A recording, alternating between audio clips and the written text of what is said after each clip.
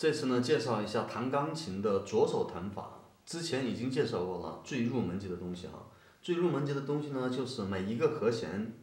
弹一个键，或者是弹三个键啊。这次呢，介绍一下弹四个键的。那我简单回顾一下，弹一个键什么，弹三个键什么哈。同样的一个 C 和弦，同样的一个 C 和弦，弹一个键的话，那你就只弹这一个键。G 和弦那就只弹这一个键，是这个意思啊，其他都以此类推。A A M 和弦那就弹一个键，F 和弦那就弹这个 F 一个键。三个的话呢，从左到右，空三个空两个是这种弹法啊。那 G 和弦的话也是同样的概念，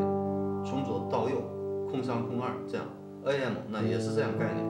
规格都一样啊。这次的话是四个键，四个键的话在三个键的基础上多加一个琴键啊。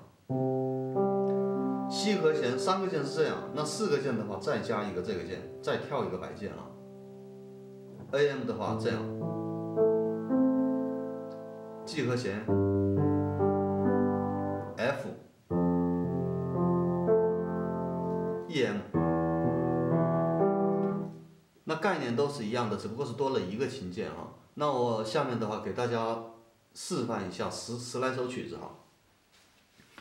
我先谈一下卡农哈，卡农我三个键的已经也是示范过哈，我谈一下这个卡农。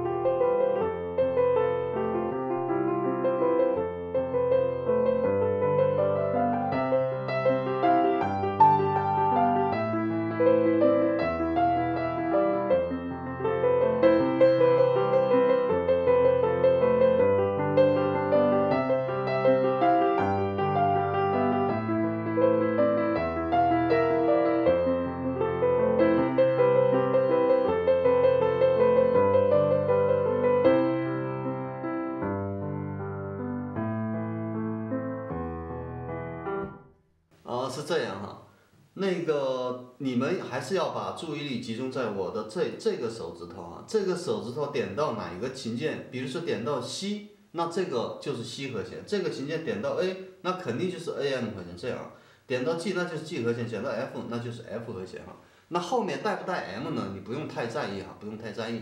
呃，因为那个东西的话呢，具体你真正弹琴的时候，后续你就了解了哈。下面呢，弹一下贝加尔湖畔啊。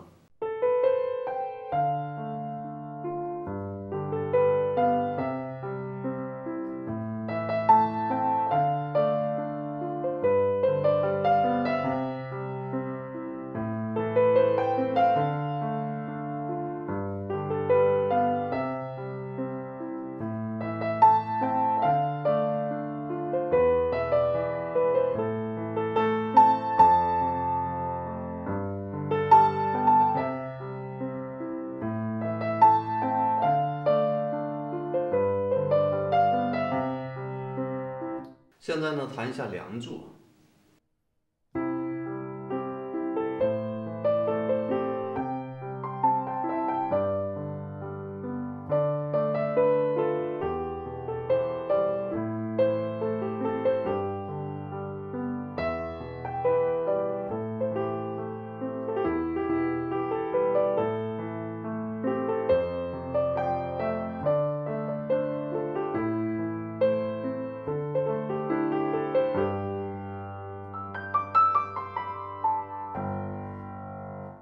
这个就是梁祝啊，然后真的爱你啊，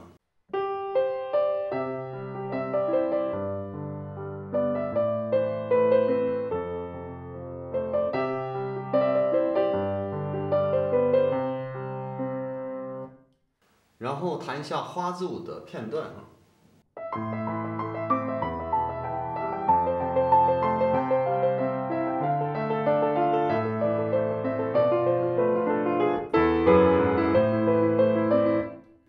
左手用的绝大多数都是这个四个的常规弹法哈，有了一点点的其他的，然后弹一下七里香的一个片段哈。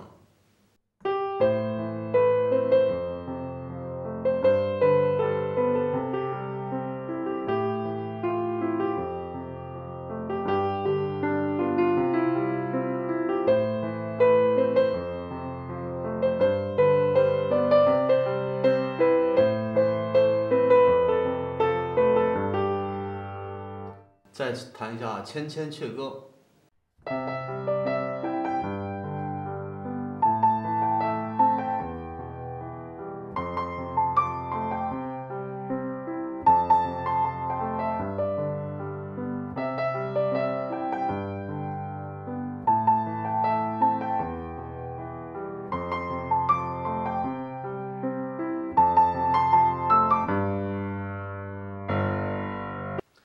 谈一下《南山南》哈。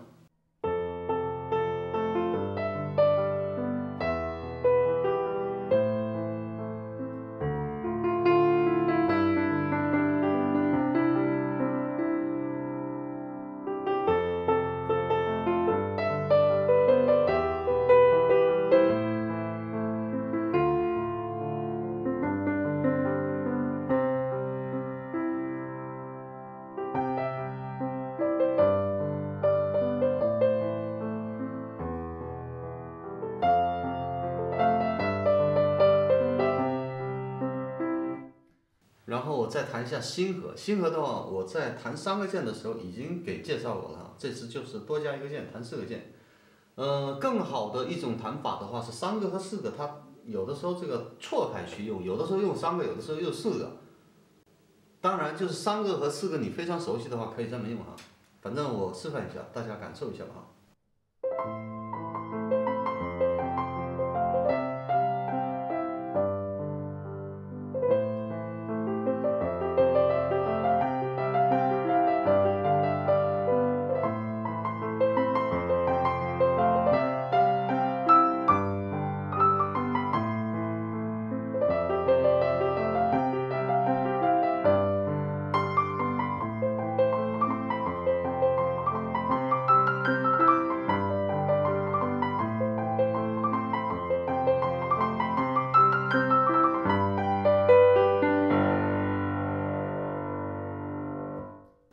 就是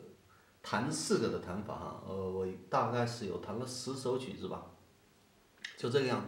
就是弹三个的和弹四个的，这个是在学钢琴里面是没法避免的东西啊，它是必须要学的，因为用这种弹法，它既简单，然后弹出来的效果也不错啊，然后后续会有什么弹六个的、弹八个的都有，但是都是以这个弹三个和四个为核心，在这个基础上会。会叠加一点点啊，是这种啊，是这种。这个东西我刚才全部都是用这个模板去弹的啊，这个东西也很容易看出来。你们即使没有学过琴，应也应该是可以看得出来的哈。如果把注意力放在左手上去看的话，虽然右手怎么去变，然后右手虽然是弹其他的曲子，但是这个左手的框架它是不会变的啊，都是这么弹，它就是一个板块模板，